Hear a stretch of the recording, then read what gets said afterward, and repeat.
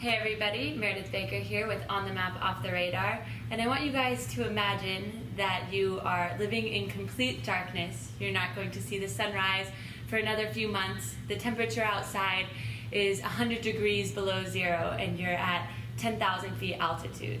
And to many of you, this might sound like the start of a sci fi movie, but to a brave few who winter over in Antarctica every year, this is a reality. And we have doctor and scientist Christian Otto with us, who has wintered over in Antarctica twice and also climbed Mount Everest and served as a doctor there to talk about what it was like to live in these extreme conditions.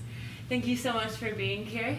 Yes, my pleasure, Meredith. Yeah, happy to be here with you. And I want to just start trying to wrap my head around it. I mean, I could barely survive a winter in Boston. So, what prompted you to go to Antarctica and live in the most inhospitable environment on the planet? Yeah, I get asked that question a lot actually, and, and you know I've always been interested in human performance in extreme environments and uh, pursued a career in medicine, and uh, these things just sort of uh, clicked for me to be able to do medicine in these remote environments, and uh, so I, I started trying to find a position with an Antarctic program, and uh, was luckily hired on by the U.S. Antarctic program and uh, so my first tour was at McMurdo Station, which is the largest base and the largest U.S. base, which is uh, on the Ross Sea on the coast. And so I spent my first year there, and uh, I guess I enjoyed it enough, wanted to go back again, and had the opportunity to go to the flagship station, which is much more remote, uh, the Amundsen Scott South Pole Station.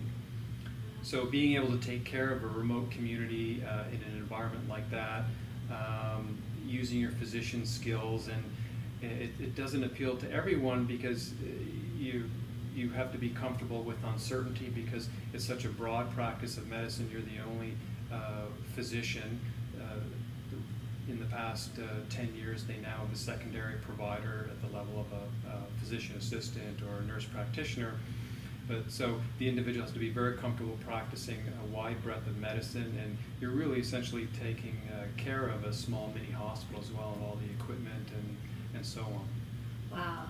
And how big was the team um, of people who wintered over in Amundsen, and what criteria did you see th- that was commonly present besides people's technical capabilities? Yeah. So it, it was interesting. The year that I wintered over at Amundsen Scott South Pole, uh, it was the largest winter crew they'd ever had, 86 in fact, because they were finishing construction of the new elevated station. So not only was there the uh, uh, maintenance crew or the people who maintained the station, but there was a large construction presence because they were building the largest station ever on the Antarctic continent. Um, and completed that year, so that's why we had such a large contingent. Typically, the winter over crew is around 50, and it's to support the station continue the science projects that are ongoing during the winter over. Because it's during the summer period, which is much shorter, four months, where you really have a high pace of activity. That's when all the, the scientists come in, they you know, set up or check on their experiments, and um, so there's uh, it's much busier and there's access during that period of time. And so we had a wide range of individuals. Uh, it really is a science shop. So there's um, astronomy and astrophysics is probably the primary science uh, that's conducted at South Pole, uh, in addition to seismology, uh, uh, some glaciology, and also atmospheric uh, physics and weather.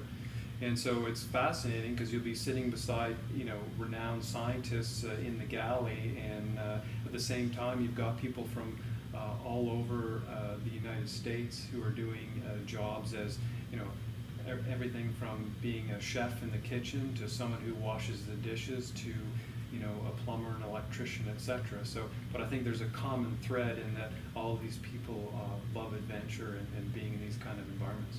And i imagine everyone gets very close by the end of their winter there.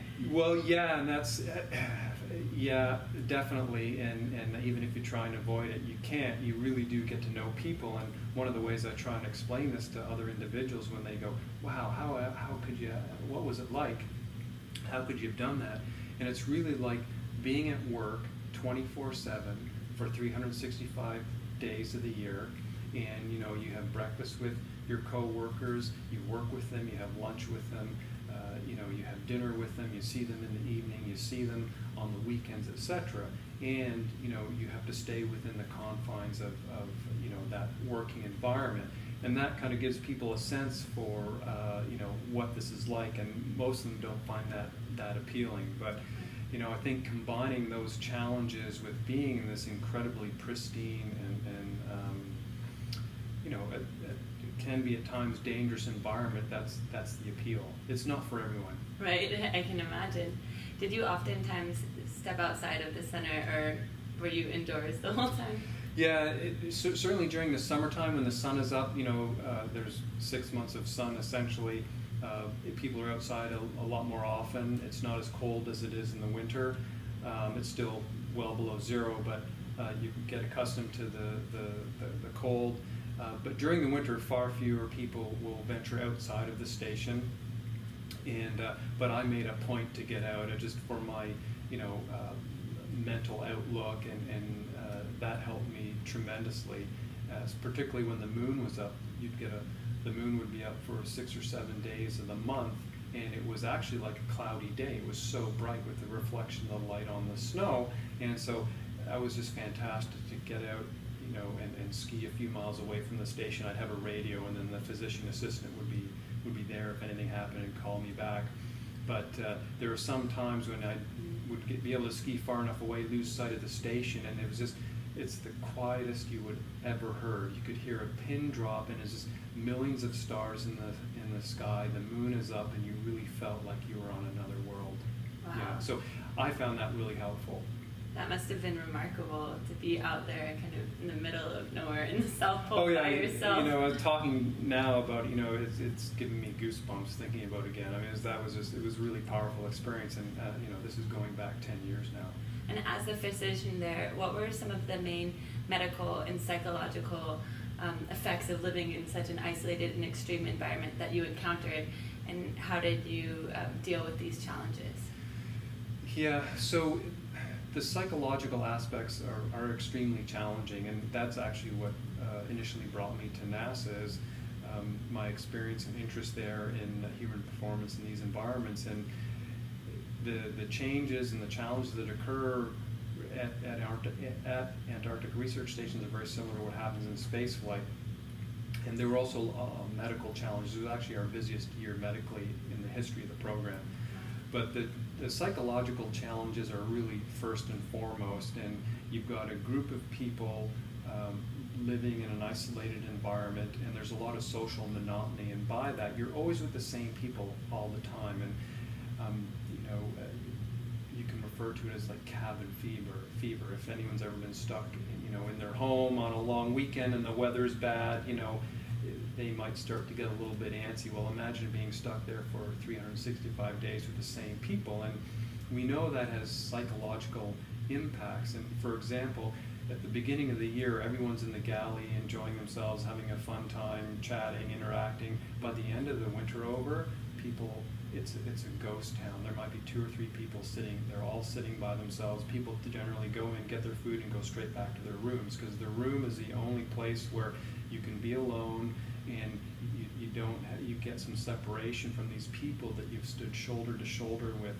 you know, 24 hours a day, okay. on and on. So those things are similar to some of the challenges in long duration space flight. On the medical side, uh, and, and sorry, just a couple other items.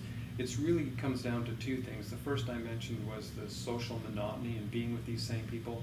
The other thing is the sensory deprivation. I mean, as human beings, you know, the brain thrives on sensory stimulation, and when you're in this environment, you know, you don't get to go on a holiday, you don't get to go home, you don't get to go for a bike ride or, or go on holidays, etc. You're stuck in this environment. It all looks the same. You're surrounded by, you know, uh, snow and ice as far as you can see, so you don't get that sensory stimulation. And we think that that actually has biological impacts on the brain in a negative way. Um, medically, uh, it was our busiest year that we'd ever had at South Pole Station. Uh, we had five major medical incidents. We had an outbreak of uh, influenza A that actually shut down the station for a day during the summer. Um, uh, you know, 26% of the station developed influenza. Um, we had a major trauma, uh, a blunt chest trauma at South Pole. We had to activate the walking blood bank the first time we'd had to do that in the history of South Pole Station. The injuries were so severe um, with uh, internal bleeding. The individual had a collapsed lung, multiple broken ribs, bleeding into the cavity lining the heart. And uh, fortunately, uh, you know, all of our training and systems worked, and this was during the summer. We were able to stabilize the patient and fly them out, and, and uh, they survived and recovered, and actually came back to Winter Over a couple of years later. What so a tough person. absolutely, and so that really, you know, tells you, you know, bad things can happen there, and typically they don't, but you know, um, you need to be prepared for those types of, you know, uh, incidents. And was there, or do people also run the risk of developing like a vitamin D deficiency for not being in the sun for so long? Well, absolutely, and that's very insightful. And in fact, uh, we looked at vitamin D for the first time uh, in 04 and 05, and that came about because the physician assistant, uh, you know, noticed that we had lots of calcium tablets and didn't want them to go bad. Thought we should give them out. Thought that was a good idea, and I happen to remember something from medical school. Don't you need vitamin D to absorb uh, calcium? And we started looking into this, and obviously during the winter over period, there's no um, ultraviolet light that, that penetrates, uh, that gets to the surface there, so you can't produce vitamin D on the skin, and people are usually clothed. So we actually uh, did a study and looked at vitamin D levels, and they are extremely low because uh, we drew blood on individuals before uh, sundown and then at sun up, and the vitamin D levels were extremely low. In fact, we had a couple people that were in the range of uh, rickets, rickets disease, um, you know, extreme vitamin D uh, or D deficiency and, and uh, calcium deficiency in the bones. And we know we've had a problem at, in the Antarctic with delayed bone healing. And uh, at South Pole, we thought that might be due to the lower oxygen content because, as you as you pointed out, it is at altitude. But it's probably the vitamin D deficiency that, that plays a role. So now there are a bunch more sun lamps and Well, vitamin D. Yeah, and, and people are encouraged now to right take vitamin D through the winter, and and that, and that has psychological benefits as well. And we, you know, we we do recommend that uh, if people can bring a, a, a like a sun lamp, as you mentioned, that's helpful as well because there's a lot of we see the rate of uh, sleep disorders increase through the winter over period, and it may not just be due to the change in the light cycle, but it may be a manifestation of the stress too. And so, all that you've learned in Antarctica, have you found that um, it's been useful in the current work you're doing here at NASA? Absolutely, without a doubt. I, I really think that the life and uh, at a research Antarctic research station, the science that's being conducted, it's really, you know, an operational environment. And by that I mean there are specific objectives. People are there to do a task. They have to get along and also live in this uh, challenging environment. And that's really that's a uh, that's exactly what spaceflight is all about. And you know, uh, I think that uh, those challenges can be applied to, to space flight. And in many ways, living at an Antarctic research station is, is uh, there are some challenges that exceed being on the space station. So, for example, during winter over, it may take two weeks to try and get someone away from South, out of South Pole if they're seriously ill or injured. There's only been two real medical evacuations from the winter, whereas on the space station, you could deorbit and have the individual home in 24 hours. So I think in that sense, it uh, can teach us a lot about future long duration missions. For example, to Mars, which may be up to three years long, and you know the kind of uh, expertise you need. Exactly, preventative measures and, and how to keep people healthy during those kinds of expeditions and missions. Wow, well, thank you so much. This has been so fascinating. Now, I'm fed my wanderlust to want to go to the South Pole, although I definitely don't have the uh, qualifications or um, ability to withstand cold weather as you do. Oh, it's been a pleasure speaking with you. Thanks. Thank you, and thanks everyone for watching on the Map Off the Radar.